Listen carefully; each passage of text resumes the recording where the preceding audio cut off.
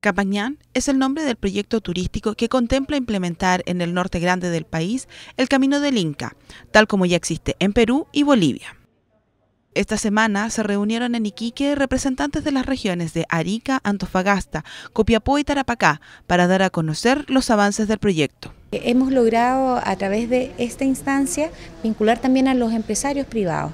Tenemos empresarios operadores, representantes del círculo de guías, representantes incluso eh, de lo que tiene que ver de las cuatro regiones, eh, operadores que de alguna forma desarrollan este, eh, el turismo.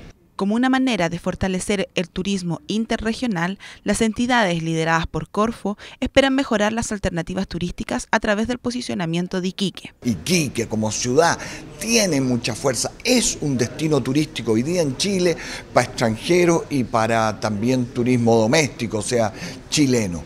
Queremos proyectar hacia el altiplano, también incorporar ese sector y hacer del conjunto de la región una región turística conectada con las otras regiones del norte grande, porque ojo, ¿ah? el desierto de Atacama tiene mucha marca a nivel mundial, el altiplano tiene mucha marca y eso es muy importante cuando tú quieres eh, posicionarte, competir a nivel internacional para atraer turistas de todo el mundo. Este proyecto, que contempla el mejoramiento de las vías de acceso, hotelería y alternativas gastronómicas de la región, busca generar una nueva herramienta de desarrollo como un producto turístico. Nosotros somos unos convencidos que el turismo es uno de los ejes de desarrollo de esta región, es hacia donde tenemos que caminar, es una industria limpia, es una industria que da empleo, es una industria que cuida el patrimonio, es una industria que permite además mostrarle al mundo las bondades de nuestra región. El proyecto, que tiene establecidos dos puntos de trabajo,